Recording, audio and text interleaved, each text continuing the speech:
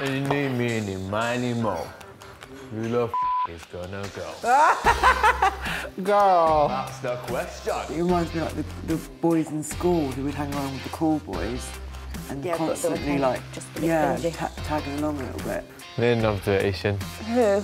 The reason why Cameron's so miserable is because of Lewis. My first nomination is. It was really, really upsetting for me to watch. It just made a very uncomfortable and awkward atmosphere. I give 110% in tasks, and I expect others to do the same. I don't want to share a house with someone like that. I feel like it's a bit two-faced. Might just take a walk around the garden for a laugh. They'll call you back in. See what they say. If the whole house gets punished, I'll be fuming. No. This is Big Brother. Hussain should return to the living room Why? No! Housemates are reminded they are not permitted to wear sunglasses indoors.